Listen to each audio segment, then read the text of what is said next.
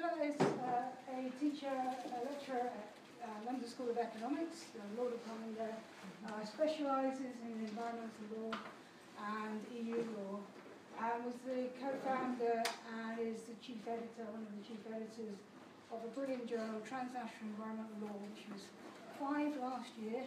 Yes. It's been going from strength to strength, uh, highly rated in the REF, it's great. Uh, and was very groundbreaking in moving away from kind of an international legal analysis of environmental law to really sort of multi-level, cross-party, other actors engaging in forming and evolving law.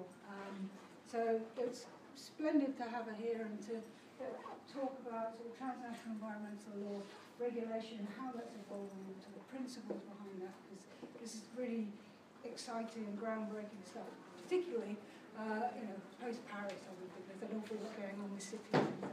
So really looking forward to the talk, and Gabriela's going to speak for around 35, 45 minutes, and then it's going to be open to uh, uh, your questions. So please take notes of questions to your mind. Okay? Right. Thanks very much. Okay, good evening. Um, thank you for having me. It's a real pleasure um, to come and talk to you about, about this issue, the, the search uh, for principles of transnational environmental regulation. Now, before we start diving into the principles, I'm kind of going to situate it a little bit, um, how I arrived at that topic, because um, it's actually, it's, it's, let's see. Come. Haha. Um, it's part of a, a, larger project that I've been working on for quite a few years, which essentially tries to understand better what we mean when we say transnational environmental regulation. It's one of those terms, like transnational environmental law, that has really taken off in the past decade, essentially.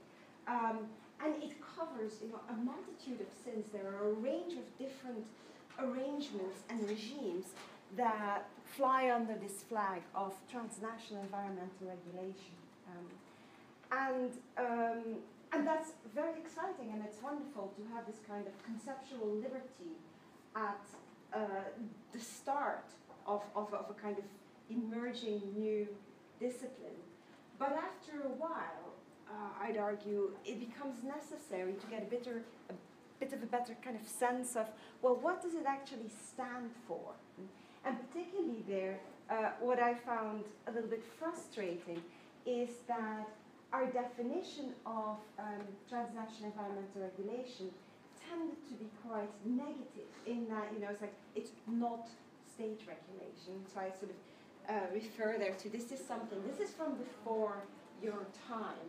This is um, this is Baldrick. Baldrick was a character in one of those great British uh, comedy shows, Blackadder. And this is um, and in Blackadder the Third, set in the uh, Regency uh, period, um, Blackadder manages to lose uh, Dr. Johnson's um, handwritten and only copy of the first ever dictionary that, that has taken him, obviously, you know, labor of love, taking him years and years and years to write. And frantically, Blackadder decides he he's going to try to basically replicate the dictionary in the span of about three or four days. Um, and his uh, rather dim-witted servant, uh, Baldrick, uh, played wonderfully by um, Tony Robinson, um, he's going to try and help.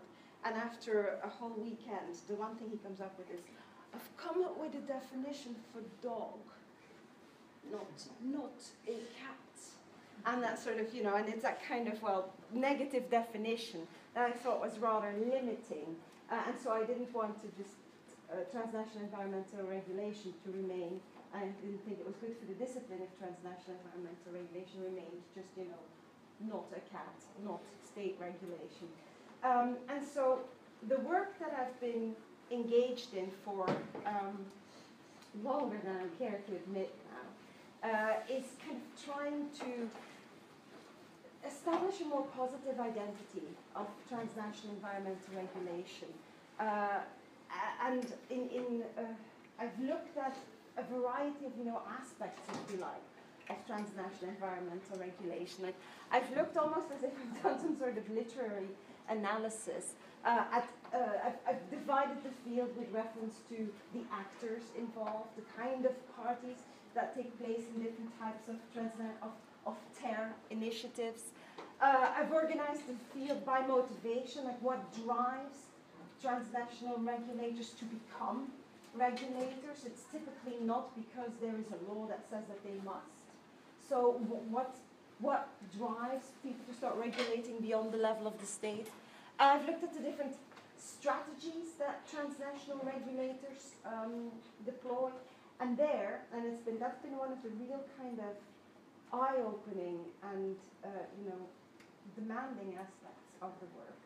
Um, you know how environmental regulation, those of you who've studied or are, familiar with environmental regulation, uh, there's this very kind of strong narrative of there is command and control, and then there are all the alternative strat regulatory strategies. And I, working with that, I, I kind of found that actually it's, well, it's useful to have such a kind of narrative, such a uh, foundation, but it's also very limiting, and it, and it, it they've become very opaque concepts. So I've tried to kind of more deconstruct um, regulatory strategies by actually looking at the different processes of goal setting and normalization and engagement and learning and response. Um, and actually arrived at some, I think, you know, quite interesting um, conclusions, like, for example, um, the fact that certain forms of transnational environmental regulation, particularly private governance regimes, actually look a lot more like command and control than they do like, than, than they look like sort of more flexible forms of, uh, of regulation. Um, and then I've also explored um, the relationship between transnational environmental regulation and law, which is um, the subject also of, of, a fairly recent article um, in, in TEL, in the journal, um, which basically argues that uh, transnational environmental regulation has a rather disruptive uh, impact on sort of the kind of features that we traditionally associate uh, with law, uh, with what I call sort of like traditional attributes of law, and it elicits a number of different uh, responses, and, and all these responses have basically certain political consequences. And then finally, the last part of the exploration um, tries to look at, well, what kind of governance principles does transnational environmental regulation have? Are there kind of overarching principles that qualified this, you know, teeming and very varied uh, field of regulation? So that's kind of that was the final installment um, and uh, the most recent part of, of the work. Um, and that's what I'm going to concentrate on today, these principles of uh, transnational environmental regulation. Now, just kind of so that we're talking about the same things. So the definition that I use, um, it's not, I mean, it's not cast in stone, but a useful definition I find of transnational, uh, of, of, well, first of all, of regulation, because of course, if you're going to talk about regulation beyond the concept of beyond the state, you need you need a rather decentered or deinstitutionalized understanding of regulation. You can't define regulation with reference to particular state agencies or government authority. Uh, and there are many very interesting, useful, defi decentered definitions of regulation out there. The one that I typically use, because I, it's quite, uh, you know, it's, it's quite Spartan, uh, but I think it gets the key points of regulation across, is to view regulation as a, basically the exercise of influence with a particular with particular purpose in other words deliberate exercise of influence and also with a certain level of authority towards the achievement of a goal that is generally defined as being in the public interest that's sort of i think the key features of regulation um, now obviously identifying or spotting whether or not influence is um, exercised with purpose and whether in, uh, influence is exercised with authority. Um, you need you can look at, at a number of different aspects there. Like for example, in order to see whether there's purpose, you can look at well, are there particular instruments um, and practices that are being used? For example, if you see uh, particular normalization techniques being used, like standard setting, etc., that, that can be a good indicator that there's some deliberate purpose going on there. Um, also, are there objectives defined in the exercise? Uh, so are objectives being communicated if we want to achieve this or that goal? That's also a good indicator of, of purpose. And then when it comes to authority, well, one way of trying to see, well, is there authority within this, this, you know, this communication? Uh, can be looking at state, at the status of, you know, whoever is giving the communication, but also by looking at what are the consequences for the parties that are addressed of cooperating or not cooperating with the regime. Are there significant consequences? And what are the external impacts? So, in other words, does this exercise of influence on a particular target group, does that also have ramifications for outsiders? Does it constrain or shape outsiders' choices, outsiders' living conditions? In a particular way. So that's a kind of decentered definition uh, that I use. And when it comes to transnational, well, basically, um, obviously that means that it's, it's happening at a level that uh, that affects more, that, that affects or that goes beyond just the state level. Um, and also in another little recent piece for comparative environmental law, I've mapped that um, that field of transnational environmental regulation then as basically, you know, you've got public TR, private TR, and hybrid TR. This is where, particularly with quite rather mature regimes, sometimes the kind of the, the interplay between public and private actors involved can become so enmeshed, so rich basically, that, that you can't really just qualify them as public or private anymore without being oversimplistic. Uh, like, for example, um, like the, uh, the Covenant of Mayors would be an example of that, of a, a, regime where there's a lot of public and private interaction. FLEGT argue, arguably falls under that as well. The uh, International Organization for Standardization, the Codex Alimentarius, those are kind of hybrid regimes. Um, and there, there are a number of others where you can clear, still, still see more clearly, well, are public authorities you know, either supranational authorities or national authorities, but working together at the supranational level in the driving seat, or private actors in the driving seat. And you can have public-public, which is basically regulation, essentially mostly designed and formulated, managed by public authorities, and primarily addressed to other public bodies. You've got public-private, so made by public bodies but addressed to private parties. You've got a lot of private-private as well, so you know private parties in charge and addressed to private parties. You, I mean, sort of, I put private-public on there. There's not there. I didn't really find instances of regulatory regimes where private bodies were in charge and they exclusively addressed public authorities. But what you do find is that very successful that sometimes public authorities or even states or governments or cities become members of private regimes. So they become also addressees of uh, the private regimes. So that's a kind of mapping uh, that uh, mapping exercise I've gone through, and this covers a whole range of different regulatory initiatives. It includes, for example, it includes uh, EU environmental regulation, which is uh, typically either public-public or increasingly also public-private in nature. It includes a lot the kind of regulatory aspects of multilateral environmental agreements. It includes um, things such as you know the OECD guidelines for multinational enterprises. It includes um, initiatives such as the Forest Stewardship Council, um, responsible care, the Marine Stewardship Council, uh, the, whole um, carbon neutral protocol, uh, RGGI, the Regional Greenhouse Gas Initiative, Compact of Mayors, Covenant of Mayors, loads of different kind of subnational city networks that particularly in the area of climate change have become very prominent lately. So it, it covers a very va vast uh, range of different initiatives, which has made my life extremely difficult the past years because you have to, you know, you're kind of driving, and you feel like sort of you're driving an Uber four-wheel truck sort of around, uh, and you're trying to find sort of cohesive aspects of identity of this very sprawling range of, of, of regulation. And it's been really miserable at times, I have to say.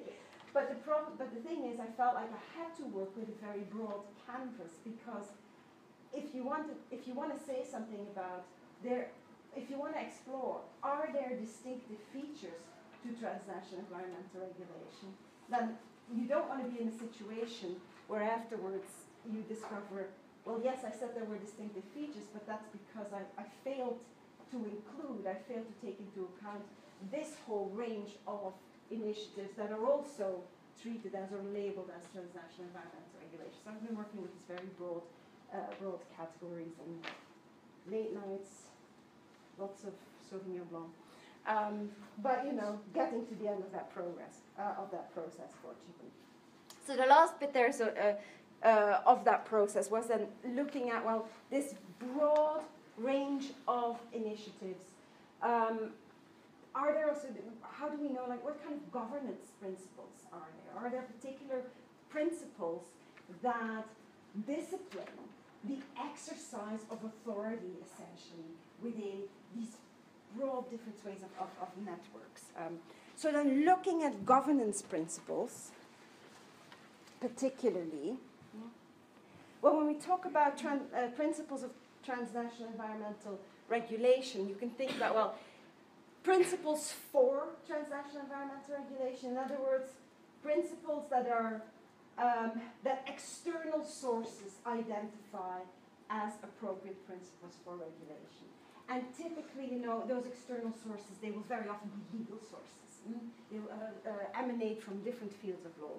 Principles of TER um, those are kind of internal principles, so principles that the regimes themselves proclaim as guiding their decision making. Like if, if uh, for example, the Forest Stewardship Council says we are guided by uh, the precautionary principle, the of principle of TER. And also the principles from TER, because transnational environmental regulation very often engages with bodies that will be required to execute essentially implementing regulatory tasks, like, for example, in the case of public-public uh, TER, um, they, will, they will also very often address principles to their addressees and say, if you implement our standards, you have to follow those and those principles. So those are kind of principles from TER. Uh, there, I think it's quite useful to be aware of the distinctive categories there. That there is, of course, there's clearly a connection between them. Typically, for example, if a, a body itself says that, well, we are a transparent regime, they will typically also expect their addressees to behave in a transparent way. So there's a, uh, a, a link between them. And obviously, in order to determine what kind of principles should guide them, so principles of their uh, regimes will very often look to legal sources to identify what relevant principles are. So this, so in order to try and identify these principles, you can take different approaches, and two main approaches you can take is either the deductive approach, so where you look at the external sources, what external sources say about what should be principles for transnational regulation. That's a deductive approach, which is represented here by, by. I mean, I, I, it's not that I expected to be a little bit. Let's. Do you, do you know this picture? The one here? King Solomon. It's not King Solomon. Oh, Look sorry. at cup. cup. It's Socrates. It's Socrates. It's you know he's uh, he's this is where he's it's quite a famous picture from when he's taking the hemlock. He was condemned to death for by you know, drinking a lethal potion, and he famously sat around and sort of described to his disciples uh, what it felt like and what was going through his body and everything. Socrates is sort of is, is strongly associated with the deductive method? And it's kind of you know like uh, all men are mortal. Socrates is a man, therefore Socrates is mortal. Mm? Um, inductive method. For that, I've got Sherlock Holmes, and and I just wanted to put that up because I I always used to think like you know that Sherlock Holmes was deducing things. And, you know, I deduced there was. It's not true. He's inducing actually all the time. Because, well, because what he, so what Socrates is doing is Socrates is starting from principle and deriving specifics from it. Whereas what Holmes is doing is Holmes is starting from specifics and deriving general, more general solutions from it. That's an inductive method, actually. So next time someone tells you, I deduced there was, you can correct me.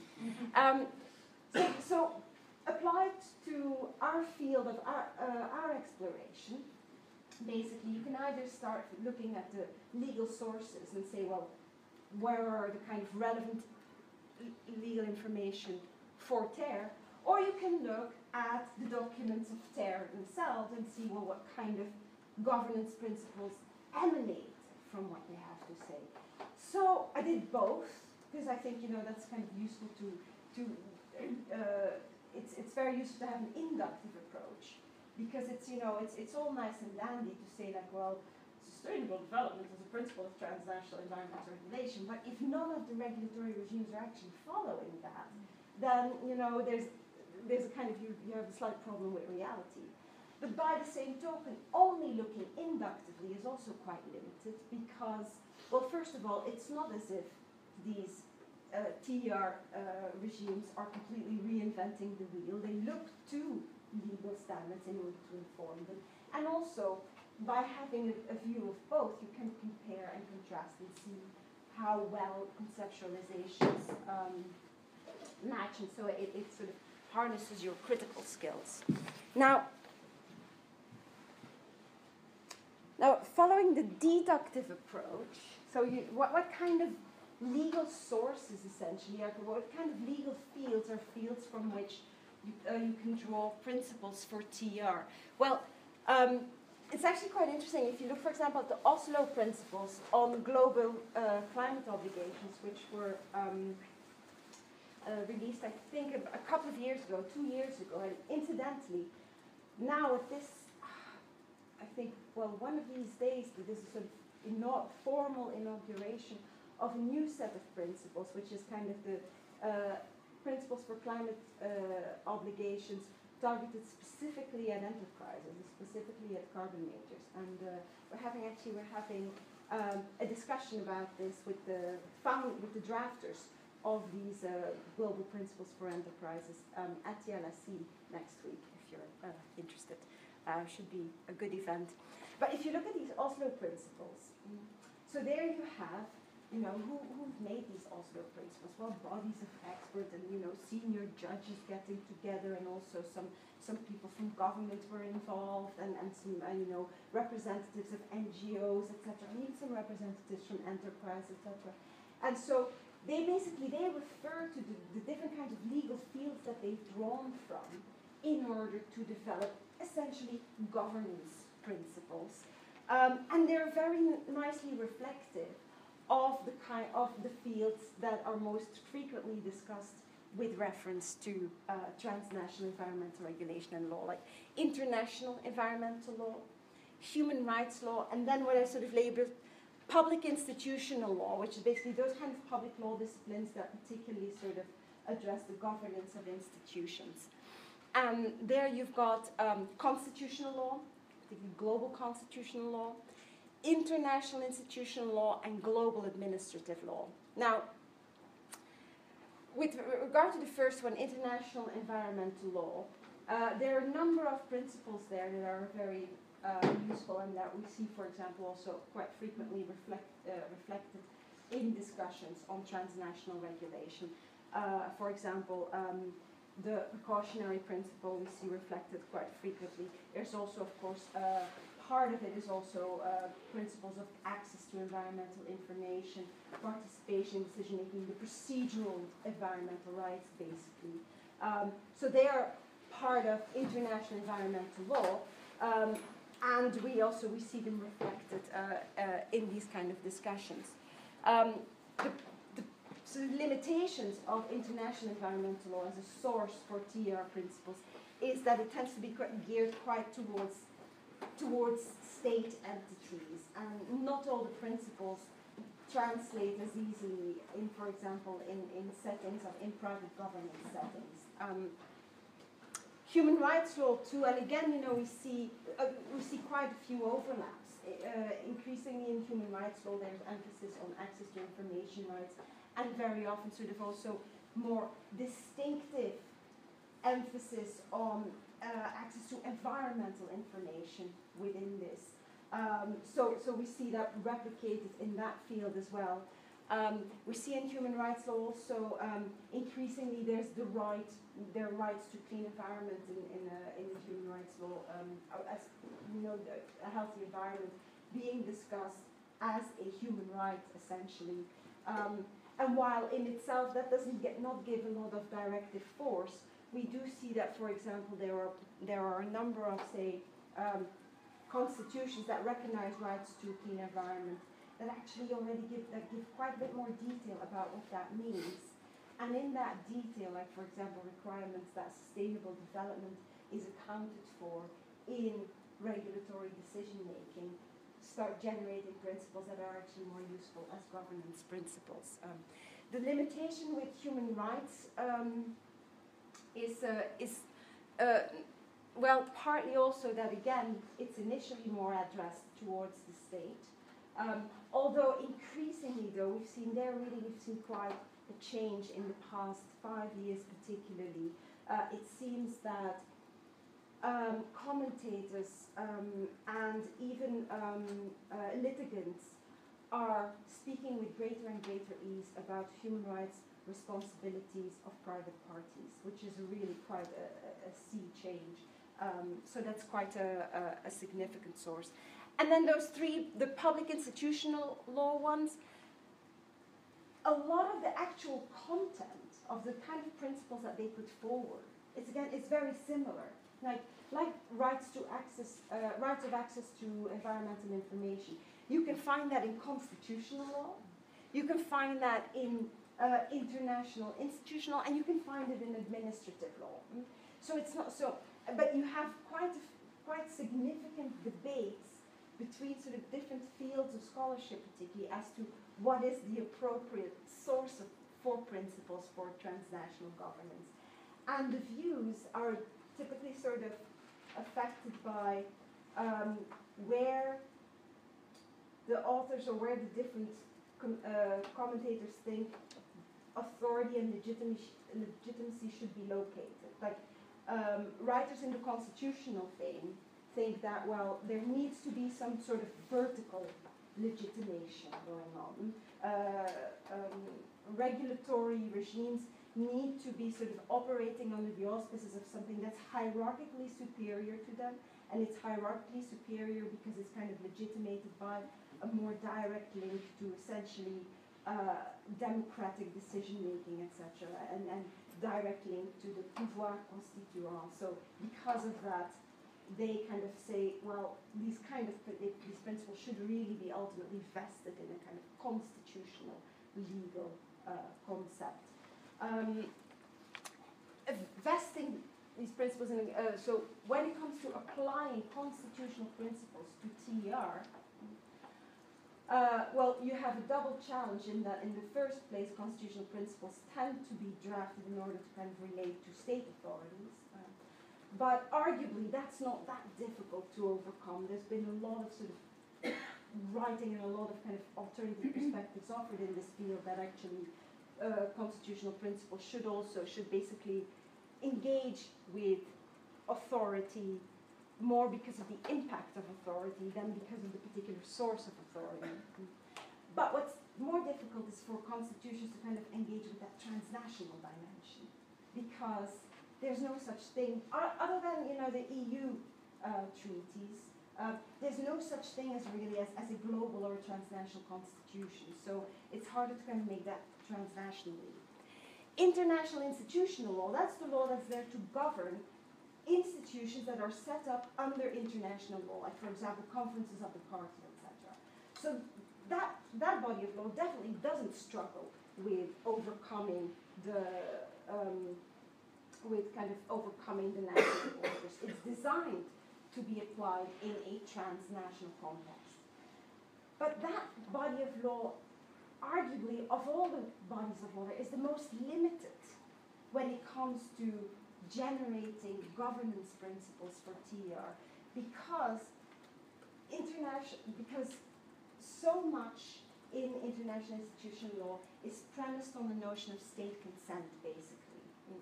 If the states consent, then you have legitimate and lawful activity, and if they don't uh, consent, then you don't. And the exercises of and the exercise of governance isn't isn't limited or curtailed or disciplined by much else than state consent. And so, whereas constitutional law struggles to kind of overcome the transboundary threshold, institutional law struggles to overcome the non-state threshold, struggles to be, you know, exported more effectively towards areas where states do not all have a veto in, you know, the, the, the adoption of uh, transnational rules. Now, the real solutions would seem to be initially would seem to be global administrative law because that's actually a discipline of law that was developed in, in response to the, the proliferation of those very types of regimes that we're concerned with, those transnational regimes that aren't, and particularly those that aren't clearly governed by an, either a national or an international or an EU legal regime. So it seems to be rather purpose built in order to respond to it. And it's also it's sort of sort of quite flexible in its conception. It kind of draws basically on different national administrative uh, traditions in order to kind of create and, and in order to create create notions of, administrative of, of administrative soundness that are more adapted to the transnational space. So that all seems very positive, and, and it is arguably the best fit. But there are also limitations to it. Um, well, the, for example, well, they call it global administrative law. But really, it's not really global, is it? When they say they're drawing on sort of different administrative traditions in order to constitute concepts, drawing on American legal traditions and a bit of European and a teeny sliver of Australian. That's not global. And secondly, also, I mean, there's been a lot of talk and hoo ha about global administrative law. And it promises to be able to kind of to go more into detail and therefore give sort of a bit more meat than constitutional principles do, which tend to be rather sort of broad and, and, and, and vague in their description. But not an awful lot has been achieved by, by sort of students of and scholars in global environmental law so far in terms of actually giving greater specificity to what it to what concepts actually mean and how they are actually applied in different concepts. So in terms of kind of output, it's it's arguably a bit disappointing. So that's deductive. That's deductive. Now, finally, also the inductive approach. That's the last bit. So that's where I basically looked at. That's where I basically looked at. Uh, obviously, not all of them. It's impossible to look at all of them. Um, so it's, it's a flawed study in that regard because you know there's only that many transnational environmental regimes I've actually looked at.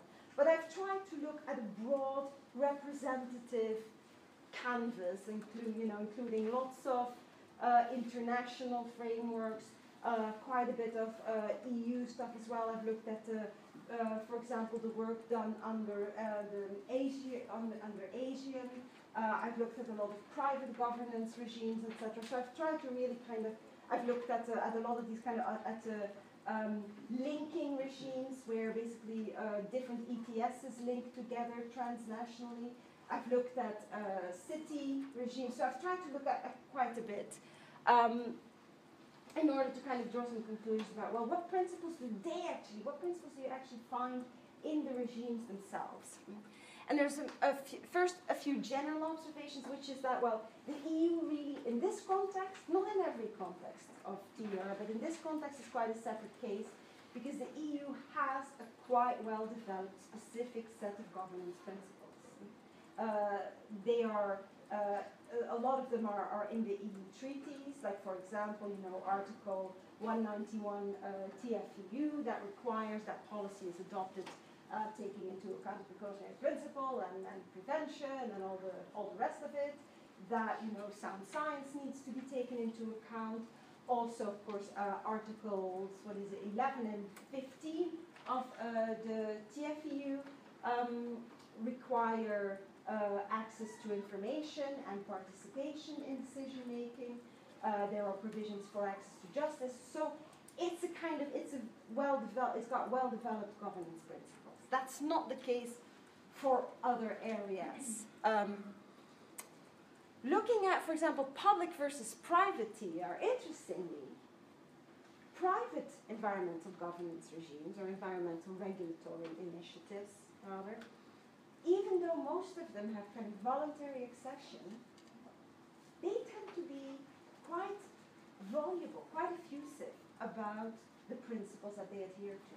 For example, and also, for example, quite a few of them um, subscribe to something called ISEAL, which is the International Social and Environmental Accreditation and Labeling Alliance, which develops um, good standard setting principles and practices. And so ISEAL has a whole set of governance principles, and a lot of private governance regimes subscribe to ISEAL. And in order to be a member of ISEAL, you have to adopt those governance, governance principles.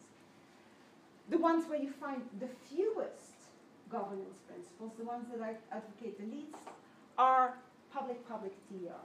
So, you know, the kind of the regulation that you find in, for example, in UNFCCC in uh, the Basel uh, Convention, in you know, in, in the, um, uh, the Convention on Biological Diversity, those tend to be rather tight-lipped about the governance principles for for their regulatory work. Um, also, I, I mentioned that one of the one of the ways in which I've looked at the field is by looking at the different motivations, what drives different regulators to engage in transnational regulation. Um, and there, there, I sort of distinguished five different motivations. Um, and two of them, collective action TR, which is basically transnational regulatory initiatives adopted in order to overcome um, uh, you know, tragedy of the commons problems, you know, in order to deal with global common, uh, global commons goods. Um, and enhancement TR, those are regulatory initiatives that are there that connect uh, typically, you know, either cities or states that already have environmental regimes in place, but that work together in order to get basically a bit of an extra boost, you know, to enhance their, their initiatives. Those tend to be fairly tight-lipped on governance principles. Trade facilitation TR, where you get you know, the adoption of environmental standards also in service of you know, freer trade. Substitute TR, where typically where you get private governance regimes uh, stepping in and regulating because the state won't. And risk management TR, typically where you get private regulators stepping, uh, adopting self-regulatory regimes because they find that they are at risk, for example, reputational risk if they don't. Those ones are much more, you know, are much more communicative about the principles that govern them. Interestingly, also I found that uh, it's whether or not the regimes were sort of officially voluntary regimes or mandatory regimes didn't seem to make a big difference as to whether or not they officially professed subscribing to governance principles. Procedural versus substantive principles, clearly a strong predominance of procedural principles a much more greater willingness and much stronger emphasis pretty much across the board of, of TR to procedurals rather than to substantive principles. When it comes to the key principles, definitely very strong emphasis on particularly on transparency and on inclusiveness, in other words, in participatory practices. But there was in that regard, there was something quite uh, noticed, noteworthy, particularly in the kind of in the uh, private TR, but inclu- in increasingly also in public TR. In that, you know, you have active and passive access to information rights. Passive is basically that you, that, uh, that You, the citizen, can ask the public authority for information. Activist, the public authority has a duty to inform you, you know, it's a responsibility to inform you of particular things. Much stronger emphasis on active than on passive. Very few, and particularly very few private regulators, offer passive information rights. They offer active ones. Same with participation. Very few basically say you can you can be involved when you want. They also say we organize consultation processes, but they organize them and they sort of they invite stakeholders, etc. Mm. Um, contestability. So in other words, are there opportunities to are there opportunities to challenge the decisions that transnational environmental regulators make? make? Of the procedural guarantees, definitely uh, guaranteed less frequently than the other two, across the board, across public and private, um, but and hybrid. Um, so what we what we do find is that, but that it is on the rise, though. That, uh, for example, uh, with new iterations, like you know, the, from the first Equator principles to the second to the third iteration, that there are more and more opportunities for contestation being built in. But it's, it's focused quite strongly on dispute resolution and on mediation, sort of providing mediation processes rather than judicial processes. Um, strong emphasis on sound science. The precautionary principle, surprisingly successful, considering that it's quite a controversial principle, surprisingly successful, not only in, in the public sphere, but also in the private sphere. Uh, for example, the Forest Stewardship Council um, uh, subscribes to it. In the fishing area, so uh, all sorts of transnational fishing uh, arrangements uh, subscribe to the precautionary principle, so it's very um, prominent.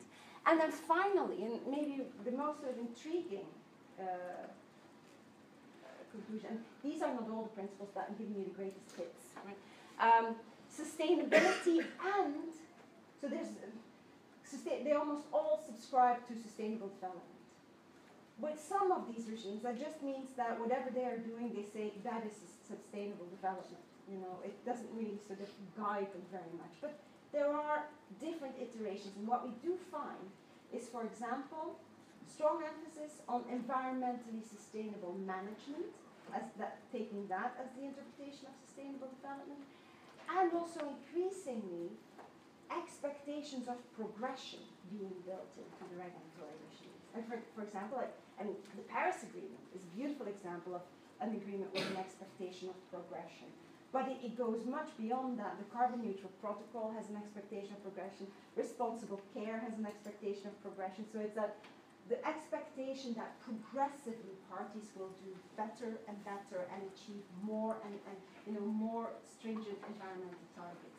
We see that kind of progression as a guiding principle surfacing in a whole spate of particularly recent um, regulatory regimes. Now, the big lessons there, and or some lessons that I gleaned from it, is first of all some really good news. The really good news is, for, is the kind of the sphere of transnational environmental regulation, even widely drawn, even kind of including a number of the more peripheral uh, initiatives, it's not a, a void where principles come to die. There is quite there are quite a lot of governance principles that are embraced and discussed, and there's a, a good overlap between deductive and inductive. And that's important because that kind of keep, keeps the relevance of legal sources alive as kind of you know source material and as and as also basis of basis for critique for TER regimes. Um, secondly, this going back to that principle of progression, quite, quite it's really quite intriguing because you know if you start introducing an expectation, if, if progression becomes and is, is gradually maturing into a governance principle for environmental regulation, with who knows, maybe a potential to even migrate towards the state-based regulations here as well. It actually changes things quite a bit. It changes a number of premises of environmental decision making quite a bit. Because so far, you know, our, a lot of our environmental decision making has been very much inspired by sort of Coasian thinking, in that there's a sort of Pareto optimal point where, um, you know, if you if you regulate more tightly than that, then you're actually doing more bad than good. So you need to find the right kind of balance between uh, regulation and freedom of enterprise, and there's a sweet spot you need to hit, that Pareto optimal point. Uh, and the principle of sustainable development sort of reflects that as well, that you have to have this balance. But the principle of progression kind of doesn't really work that way. The principle of progression seems to suggest that, you know, maybe there isn't a Pareto optimal point, or if there is one, it keeps moving all the time. So it's really quite a different perspective. It, it irritates one of those quite foundational notions around which a lot of our ideas on environmental decision making have developed.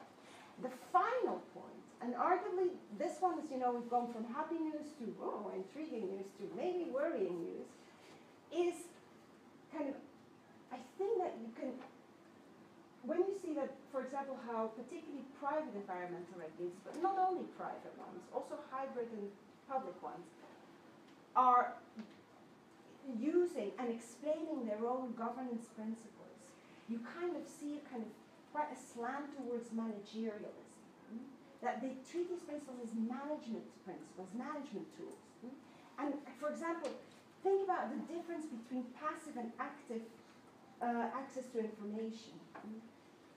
Passive access to information, having to give information when a third party asks you, that's being under an obligation. Active information responsibilities, sending out information, telling the world about how you're doing, that's a tool. That's a, that's a tool that you can use to manage particular problems. Same with kind of the way that um, participation and even contestability is being uh, organized. Also, it's kind of in the way that sustainability is increasingly frequently tied to environmentally sustainable management. So there's a whole kind of managerialization almost of governance principles potentially at work here. And we do need to be aware of that, first of all, because it can also start affecting um, you know, more traditional spheres of regulation. And secondly, also because like it could potentially kind of reduce or, or be a kind of uh, countervailing force against human rights kind of argumentation, human rights-based principles. Two don't really sort of sit together very well. So I do think that that, is a development to be, that it's important to be attuned to and important to be aware of that, that we might be talking about the same principles, or we might all be talking about transparency, but it can mean something quite different in different regulatory circles, and that difference can be very important. Okay, that's it. If you have any questions, I'm there for you. I'm sorry for going a bit too long. Thank you very much. And, uh, I think an incredible amount of uh, uh, information and concepts and ideas for us to reflect on. And there are questions for.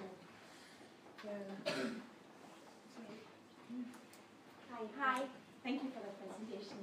I was just wondering, I mean, the private seems to be clear in terms of who the private actors are. It seems to be a lot about companies and such like, if I'm not wrong. And the public seems to be the governments, the nation states, or provincial government, or different levels of government. But they stand in for the public as members of the public, or is there a third category as well? No, private, basically private also, like for example, NGOs, like, like say, um, uh, say for example, the Forest Stewardship Council is, well, it's a kind of, it's an amalgamation, but NGOs have been quite sort of uh, have been important in, in a sort of in its establishment and uh, a big part of the credibility of the FSC has been related to the fact that NGOs have been heavily involved. That's private. What I mean by public is basically public authority. And what and about local communities?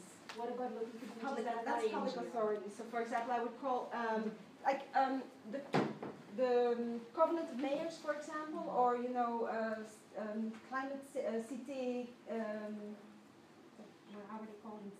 C40, C40 etc. Yes, sir. Um, those, um, I would say, of, that's I would categorize that as um, either public-public or hybrid because actually very often, for example, charities and NGOs also play quite an important role um, in, um, in these kind of networks. So they're typically a little bit too complex to be classified as either public. But so by public, I essentially mean public authority. So, so is it someone working under sort of official status related somehow to the state?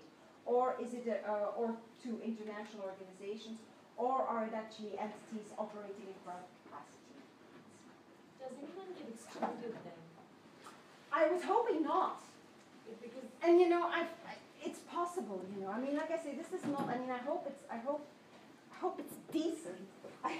it, it might be that, but I don't think that if you organize it in this way, that you, you know, where you say that that you know, an entity will always be either public or private. So if you have the classifications that I've made, it should be covered. It should be covered. Any kind of entity um, should fit somewhere. What you do see is that, for example, entities tend to migrate. Uh, like um, the uh, Codex Alimentarius uh, initially would have been uh, would have been probably would have been public-private, but increasingly also the norms that Codex Alimentarius puts out is al- are also addressed to governments as well. So it's becoming more and more hybrid. And in fact, you know, there's a bit of hybridity everywhere, but in some cases it's so pronounced that actually you are kind of, um, you know, oversimplifying excessively if you try to cram them in one or the other public-private box. Yeah, I- Uh, Thank you for the presentation. I, I don't know if it's really related to this topic, but would you see a problem in finding like this transnational environmental regulation that applies equally to all uh, in relation with the common but differentiated uh, responsibility principle? Or how could, could there be like a conflict between these It's a really good, it's a really good question that, you know, in, uh, the, the common but differentiated responsibilities, um, requirement is very much the quintessentially state, state to state Yeah. requirement, right? And, and one of the questions is like, well, with, when you have transnational structures, is that one of those kind of, of those requirements that are actually going to get lost?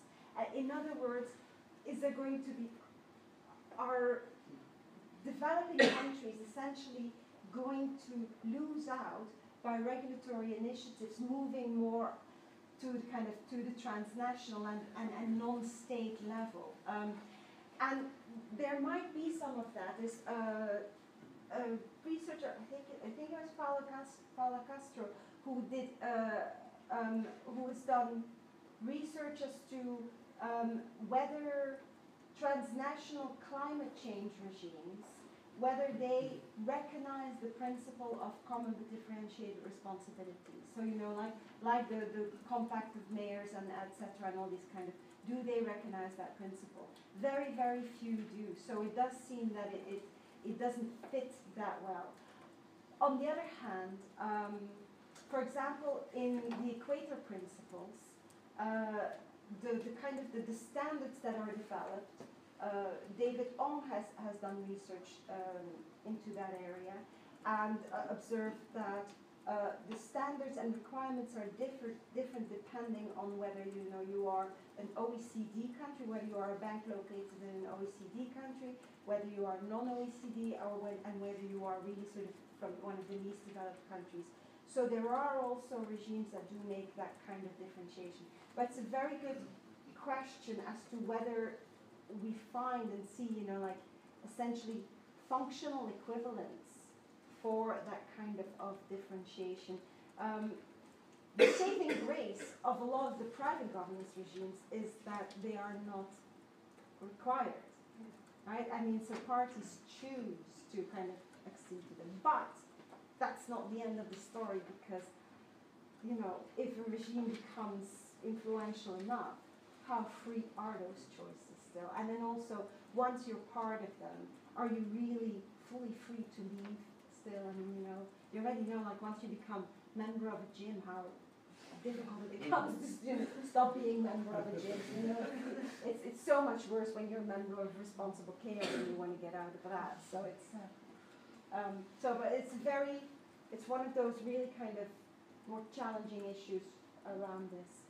Um, I don't know if I missed this point, but um, within these um, regimes, these standards, are, are, is there a sanctions regime attached to them or? Well, this is well. That goes to strategies, right? That's uh, um, I've looked. I've looked at that as well, and obviously there again, you know, because I've looked at such a very broad field of regulatory initiatives, you know, the answer is obviously it depends from initiative uh, to initiative. But the sort of some general lessons there are that um, we are more likely, probably, to underestimate the coercive and sanctioning force of these kind of, you know, alternative or non-state regimes than we are to overestimate it. Um, like for example, um, a, a lot of the, like, if you have networks like, for example, the carbon neutral protocol, which is a, which is a, a, private, uh, which is an example of a, a private-private uh, regime, so run by a private organization and addressed to private companies.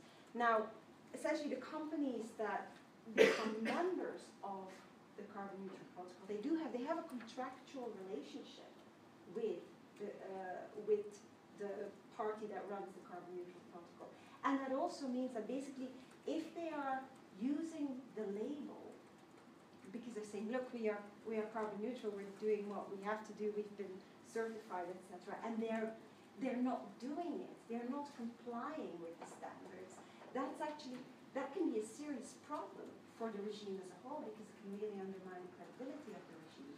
So um, there are, and, and they have a contract, so there are potential contractual recourse. There's potential for contractual recourse there, basically for you know litigation. There's very very little litigation, but that doesn't necessarily mean that, that things don't happen. It could be that a lot of it goes to arbitration, or it could be that these regimes are so effective that there's actually not a lot of breach of contract. but that's, you know, I'm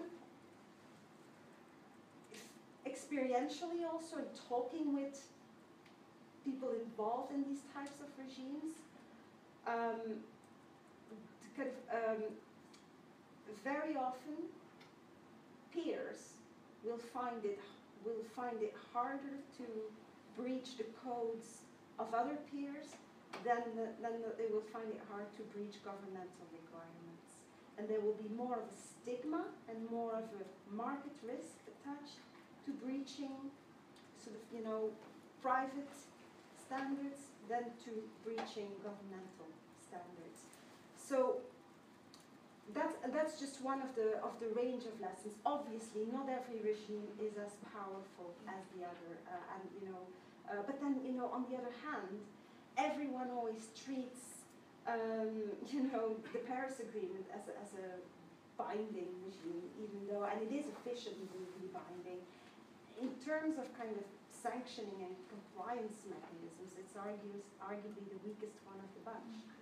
So it's, um, it's a, we find a very varied landscape, but by and large, there you know, my impression is that also because of how these regimes are structured, they invest a lot in what I call engagement strategies. Engagement strategies are basically, you know, when you when you've set when you've developed your stand, you've set your goals, etc. You've developed your standards. You've got to engage the addressees, right? You've got to sort of create a connection with them, and that means that well, the most basic thing you need to do is communicate your standards, right? Because if no one knows what your standards are, well then you know not much is going to happen. Not much behavior is going to be influenced, which is the essence of regulation. So you communicate. But beyond that, we also see a lot of bonding strategies happening. For example, one very, very prominent bonding strategy in the transnational regulatory field are reporting requirements. Now, parties have to report what they're doing. They have to feed back information. And the thing is that that's not very, it sounds like it's not very forceful, hmm? but it just, it shifts the kind of, it shifts the, the, the context a bit. First, because, well, it's kind of, it's one thing having, being confronted with a standard and not complying with the standard. Because you could sort of say, oh, well, there can be a range of different reasons and it can be, you know, um, oversight or whatever. But not complying with a reporting requirement, there's a sort of, there's a deliberate element there. Mm. And so a company might be comfortable to sort of flout the standard a bit, but it might be less comfortable i to kind of basically not report back or to lie, to actually lie when it's reporting. So it kind of, it alters the stakes of it. And that's a kind of engagement mechanism. It's not an enforcement mechanism, but it creates a, a stronger bond. Certification creates a bond. Establishing a market, establishing op- option principles, these are kind of bonding mechanisms that connect regulatory addressees to the scheme. And these two, basically their, their key function is to optimize circumstances for compliance. So it's not a deterrence-based type of compliance that you get, but it, can be sort of, it's an alternative type, you know, it's almost like talking about soft power in a way. Can I jump in on? Yeah. I mean, yeah, not a total hobby horse, but certification. And, I mean, FSC was initiated by NGOs back in the Mhm. 1990s because there was a failure, you know, to, to have an agreement on a, the Convention on Forests. So it's like, let's do something.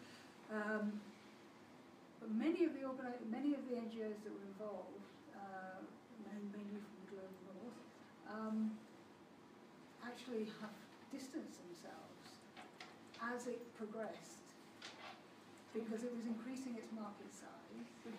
It changed the boundaries. you, you, you have the 10 principles of uh, FSC, they're agreed, but then how you arrive at those, the rules change. So you can have mixed recycling, uh, you know, mixed sources, different plantations, all these things. So, um, and then they think of like increased progression. So, okay, we want to get on board more uh, forests in the global south. So, um, you can meet the principles over time. Yes. Now, so you could, ex- so from a distance, if you're looking at the principles, they meet a lot of what you're saying. In practice, some of the people that initiated it, some of the like Rainforest Foundation, um, they, they produced a report, Trading and Credibility, it was Mhm. back in the late 90s. They've kind of distanced themselves. FSC has grown exponentially alongside PEFC, which is even bigger. Um, but they've diluted and changed uh, the strategies. And, It- and, and, and I think that that's really interesting because in some ways progression could be like a CBDR element. Um, but really, Yeah. yeah, the, so You're and it's a good thing to point out because I didn't in, in the, the talk, but yes, I mean, progression, that principle of pro- progression is a double-edged sword. Because on, on the one hand, uh, it, it can mean that, you know, basically you can, the, the sort of Coasian Pareto optimal point can be surpassed. But by the same token, it can also mean that basically, well, there's not a particular, as long as you're doing a bit better, every time around, regardless of you know how crazily the scenario around you is changing, as long as you're doing a bit better than before by whatever yardstick that is being measured, uh, you know you're fine. And this is this is uh, one of the challenges in talking about this issue and, and researching this issue is that, well, you know, I think it's very one of the reasons that I actually wanted to do this research is. Um, transnational regulatory initiatives have proliferated so much in the past decades. And, you know, and, and you sort of, I, very often feel very mixed emotions when I think about them because on the one hand, there's this sort of, you get this, this sense of, you know, well, beggars can't be choosers. You know, we have, we don't have an awful lot of environmental regulation, so we should be grateful for any kind of initiative around. But on the other hand, they also they're challenging and vulnerable and kind of regimes and structures and they're vulnerable but they're also actually i would argue my research supports the, the, the thesis that they're more powerful than their formal status uh, indicates. And when I say vulnerable, is basically, well, for example, in, in my, so when I went through the exercise of basically identifying different reasons why regulators would want to engage in an exercise of transnational environmental regulation. So collective action, TR, trade facilitation, TR, um, substitute TR, risk management TR, and enhancement TR. There were sort of five, five different reasons that I could uh, distinguish. Um, and I kind of did a little discussion about, oh, you know, how does that motivation affect how they work and affect their outlook and everything. And in pretty much all but one, it introduced a bias of unambitious standard of unambitious decision making, um, for different types of reasons. Hmm? In, in the, for example, in collective action TR typically introduces this bias because uh, there you have to get, it only, it's, it's only worth the mustard if, if you get parties involved that are, you know, that are typically not that interested in regulation so you have to kind of you give them you have to give them an easy entry point. Um, in the case of a substitute TR, you typically have to kind of compromise a bit in order to get a bit more credibility and cooperation. So it's from a compromise perspective. Um, in risk management TR, well, there basically the key motivation of the parties involved isn't to save the world, even though, you know, if you read what responsible care has to say about itself, you'd give them a Nobel Peace Prize. But, you know, you know that that's not really. They want, they want to kind of satisfy. They don't want to optimize. So there are a lot of forces in this field of transnational regulation that on the one hand kind of are very kind of um, sympathetic to things getting done, but very unsympathetic to things getting done thoroughly. And that kind of opens up a whole range of, of, of questions and issues. And it's not an unproblematic field by any, by any stretch. The question is, you know, would not, we kind of taking a very negative attitude towards all these kind of initiatives. Well, first of all, would it make any difference? And secondly, would, we, would the environment be better off if, if you know, the, these kind of initiatives were, were stamped down as much as possible. It's very highly, highly questionable.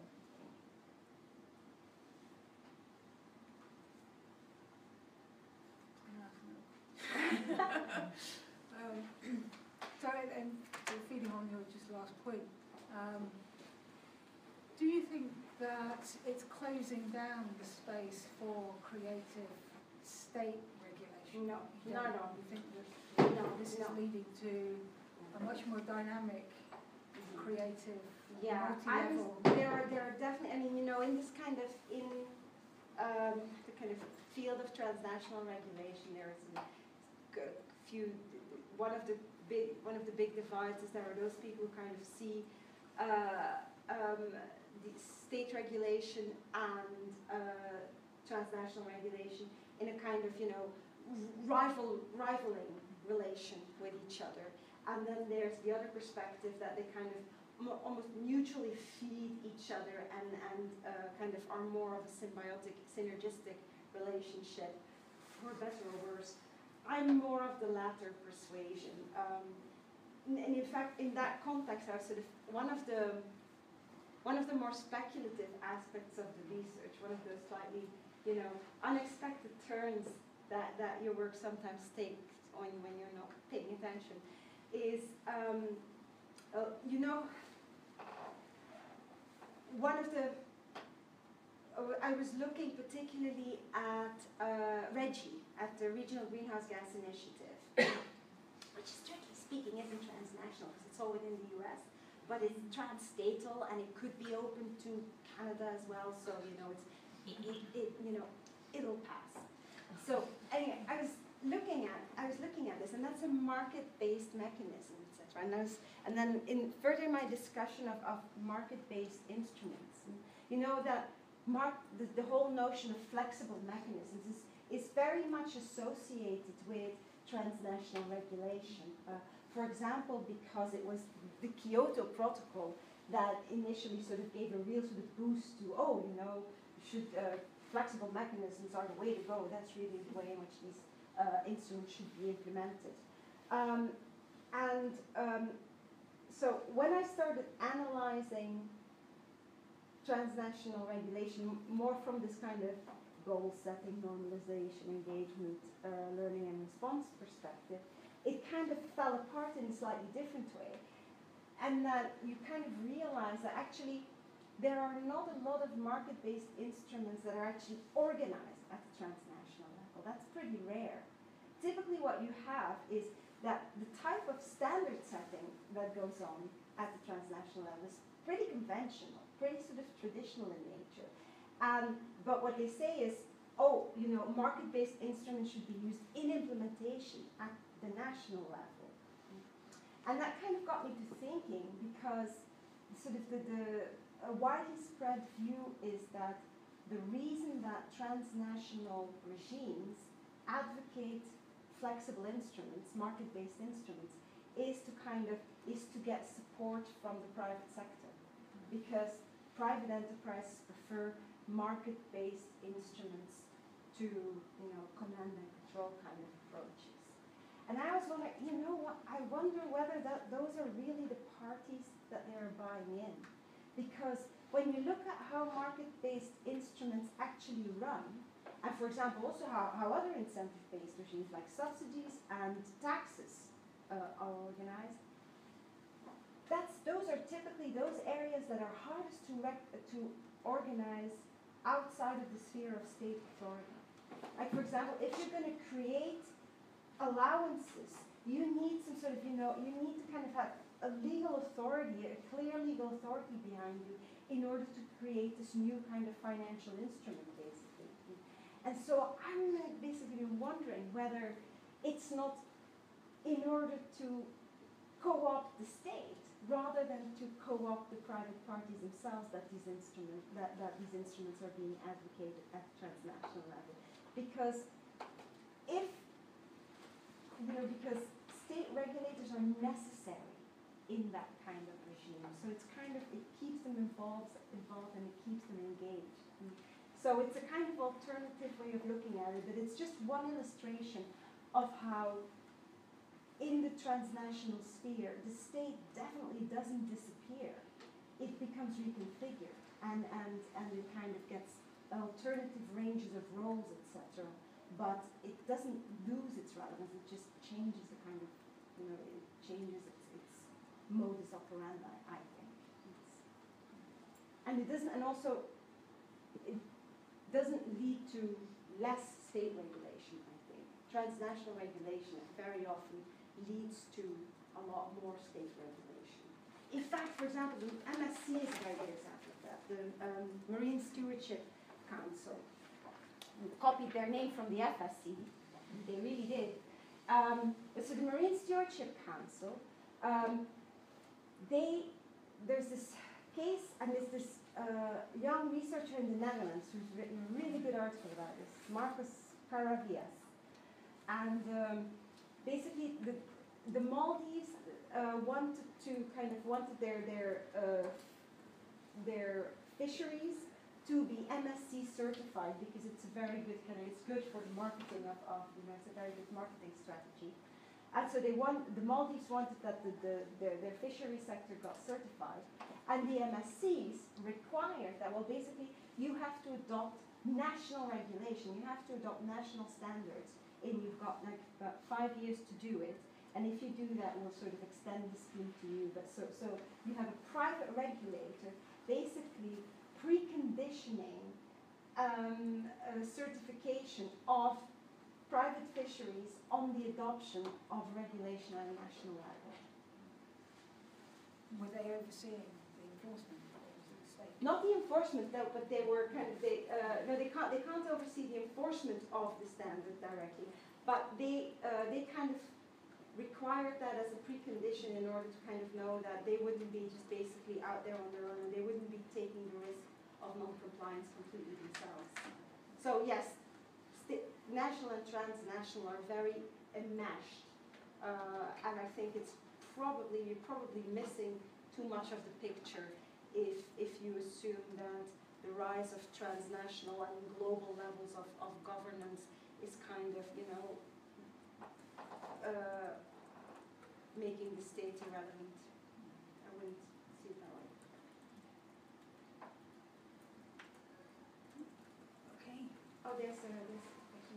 So in the section of uh, deductive, you listed the national environmental law, human law, and then in the ca- category, uh, you gave this uh, um, global, um, global constitution law, Yeah, and then the third one, the global, Global administrative law, administrative and the middle one. I got a question about the middle one. international institutional. Institute. So who are the um, uh, lawgivers and who are the addressee of that? Are Yes. You, do you imply a some kind of supranational entity? Well, well, it's international entity, really. I mean, international institutional law is the law that governs international institutions, international institutions, such as, for example, the, the United uh, Nations conferences of parties uh, in, under different uh, auspices, or say the POPs committee under the Stockholm Convention. So there are provisions um, there are provisions, international institutional legal provisions. Uh, Jan Klabbers is the, the kind of person who's the, the expert on these issues. Uh, that essentially um, set out the requirements for these kind of international organizations, international organizations that have an official legal status uh, to operate lawfully. Uh, and so they're kind of they're an appropriate source to look at for the govern for transnational governance principles because they're also at a level beyond the state. But as I mentioned earlier, they're they're quite limited in what they can give because there's so much basically they're very thin. There aren't that many principles, and most of the principles don't really translate to the transnational concept context because it's basically well if for, for an institution to operate lawfully, it has to operate under state consent. Everything it does has to be sort of vetted by the, you know, the conference of the parties or whatever. And uh, oh yes, they shouldn't operate ultra vires. And there is some expectation that as they shouldn't, as apparently, you know, they, they shouldn't operate ultra vires, there should be an opportunity for claims of ultra vires to be made somewhere there, so there's some expectation of judicial review. But beyond that, there's not much there in terms of, for example, international organizations have to behave transparently, and international organizations have to kind of um, uh, um, take into account um, sound science in their decision making. So it's thin in terms of, of substance that it can uh, that it can offer. So you speak to the uh, nation state as Very well much, as uh, yes. some other Very much, yes. uh, yes. private Mhm. It doesn't, yes, it doesn't really tra- travel well to that context. In term, you didn't talk very much about legitimacy, and that pops up a lot when uh, when you're sort of looking at uh, non-state-based initiatives. But being able to hold them to account, you know, responsibility, legitimacy. I mean, and in some ways, there's the incentive to bring on board international legal norms, the language, like um, uh, precautionary principle, incorporated to gain some sense of legitimacy. So, so embedding sort of normative language from the international sort of community and bringing it in-house, and it gives them, th- them, it's almost a little bit like window dressing because then it's like, how do you hold them to account on the actual practice? hmm Yes, there's a, accountability is an issue, definitely, because, well, in a lot of these regimes, you definitely don't have, for example, well, for, say, for example, for, in the UK here, for the Environment, uh, Environment Agency for England and Wales, well, for example, you have an ombudsman, an ombudsman that can hold the agency to account, you have uh, parliamentary scrutiny committees, etc. And so all this kind of the, the legislative branch of accountability is pretty much absent for a lot of TR. there is, I mean, there is some, like for example, again here, when, like I said, in the sort of legal context, European, uh, European Union regulation is, is in a sort of state of exception a bit. But for a lot of TR, there really isn't a lot of that type of accountability. Another aspect of accountability is kind of, you know, judicial accountability, where a court holds you to account. Um, again, sphere of TER, and even there, when it comes to, I mean, the EU doesn't isn't very good about kind of, you know, judicial review of the decisions of its own institutions. I mean, it's there, but access to the courts is notoriously limited.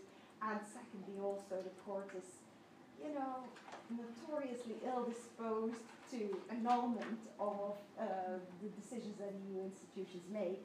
Um, so, so there's not a lot of that either. So the question then is, are these kind of are alternative forms of accountability? Accountability, you know, like vis-a-vis the consumers, account, sort of accountability via the court of public opinion or what have you, and also accountability via um, these internal review and mediation programs that increasingly uh, also private governance regimes are setting up. Is that a sufficient kind of substitute or a sufficient kind of alternative to actually genuinely talk about accountability? It's it's a kind of it's it's an area of deficit, I would definitely say. Um, for example, one of the one of the uh, TER regimes with the most developed review and mediation process is the Roundtable for Sustainable Palm Oil. Yeah, right. so, so, so you know that kind of makes you think, right? So indeed, it's an issue, but it's I felt a little bit embarrassed when you said that I talked a lot about legitimacy because one of the one of the reasons I, I started this big project, well, one of the irritations that drove me, because you know, nothing energizes me like feeling really, really irritable, um, is, is that you, you got a lot of literature, a lot of writing on different, different types of governance regimes. And they always immediately jumped to legitimacy. You know, like, oh, we're going to look at the CDM executive, you know, the Clean Development Mechanism Executive Board. Um, oh, it's got a legitimacy problem. And then, you know, they compared it to basically sort of, the, or either implicitly or explicitly, to a national regulator. And of course it looked differently from a re- national regulator, ergo, legitimacy problem. And I felt it's sort of, don't we need to understand how these kind of regimes work a bit more? And don't we need to know a little bit more about their positive identity so that when we talk about their acceptability, we kind of do it in a more contextualized way and we use benchmarks that are more attuned to their context than to kind of than the legitimacy benchmarks that have been that are traditionally used for regulation. Like one key that this was actually was this my regulation class of today. One key benchmarks is legislative mandate. Are you operating under a legislative mandate? And you know, if you use that as a benchmark, then yeah, of course it's all illegitimate. That kind of goes without saying in a way. But what I'm hoping is that the research that I've done might also inform kind of um, a more yeah, a more informed notion of what leg- what legitimate governance looks would look like at the transnational level, and what the particular legitimacy deficits are against benchmarks that are fully appropriate for kind of the transnational level. That's kind of what I'm hoping. I'm hoping that my work might constitute a building block towards that kind of broader debate.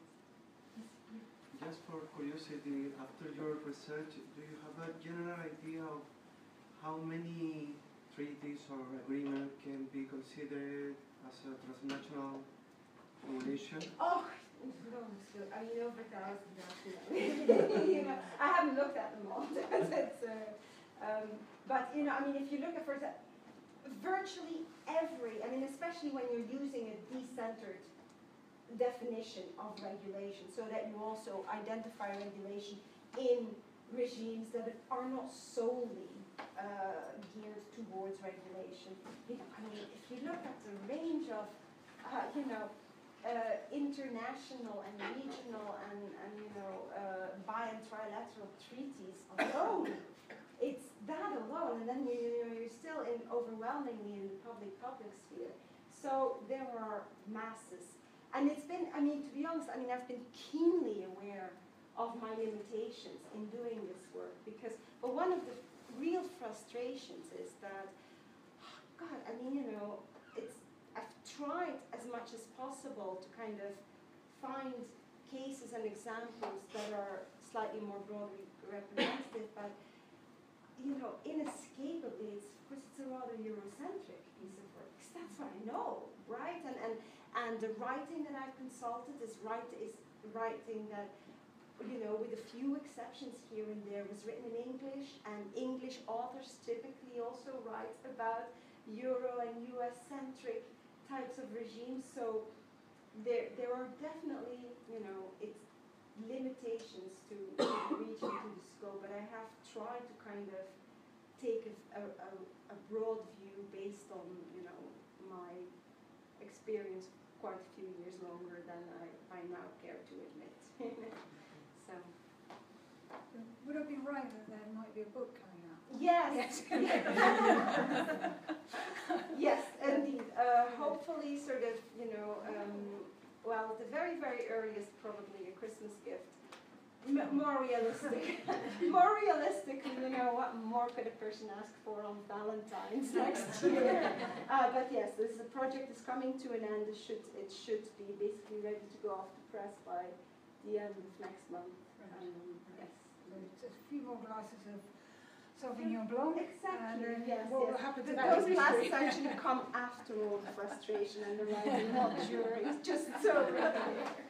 Well, thank you very much. I mean, that's been really just a huge exploration of an enormous, enormous topic that I can only hope that everybody's sort of taken things from and, and will go away and think a lot about. And I just loads questions. Um, thanks a lot. Let's get back Thank you. Thank you. And also just appreciation to you for staying um, so long. Also, uh, next week uh, we have uh, Sam Adelman from Warwick, University of Warwick, and he's going to be speaking about geoengineering